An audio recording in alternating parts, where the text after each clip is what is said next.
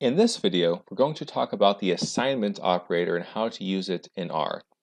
So essentially in R, in order to store a data structure in our computer's memory, we have to assign it a name. And the most common ways of assigning objects in R is using the, the left arrow here or the equals sign. And so this is a combination of the less than symbol minus, um, or this is just the equal sign. And in general, you can use both the assignment arrow and equals to assign an object a name.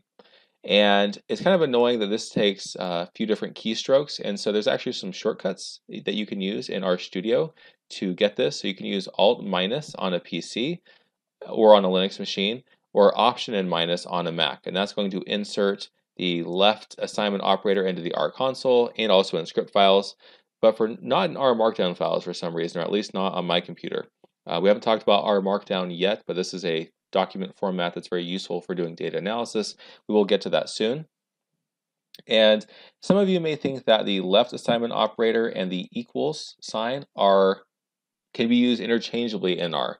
And while most of the time they will work in exactly the same way, they are not synonyms for one another. So in section 8.2.26 of his handbook R Inferno, Patrick Burns states, standard advice is to avoid using the equal sign when you mean a left assignment area, error, left assignment arrow, even though it takes an extra keystroke.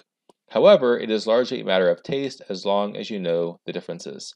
I think that there are probably very few people who know all the differences, including myself. So my recommendation to you is that you should in fact use the left assignment operator when you want to assign an object a name in R. Uh, if you do want to have your mind blown on this topic, then there are plenty of resources available to do that. So in R, you can actually do question mark assign ops, and that will you will provide some very interesting reading material about the assignment operator. Or there's a Stack Overflow thread here in this document that is very informative. Uh, it's probably more information than you need.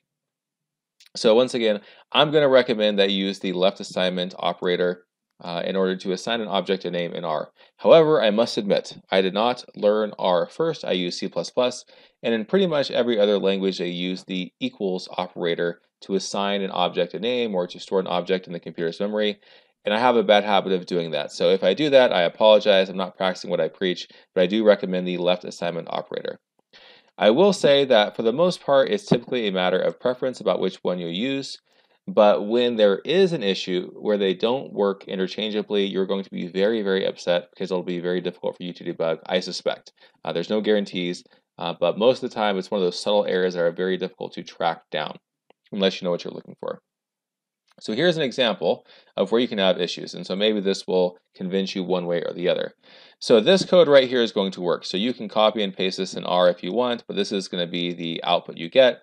So what this is supposed to do is you are supposed to generate 100 values from a standard normal distribution and assign it the name result and system.time times how long that takes to occur.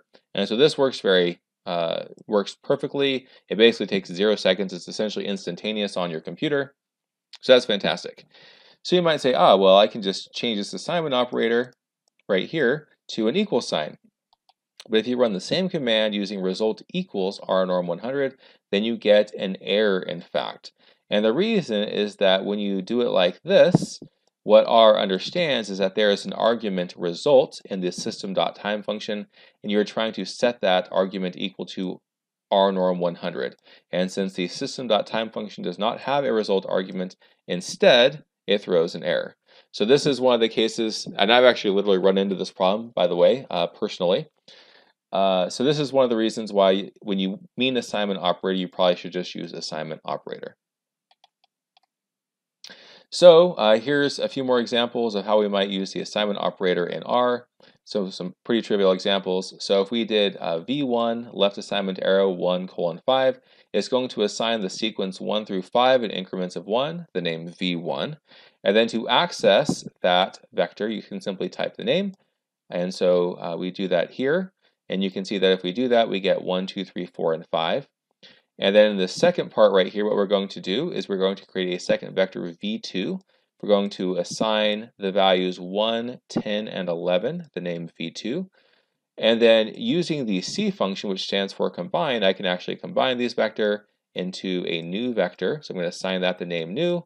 And if I print new, I get 1, 2, 3, 4, 5, 1, 10, 11, which makes sense because we're simply combining v1 with v2, and that's what I get in this new vector that I've assigned uh, in this set of sequences here, and the set of commands right here.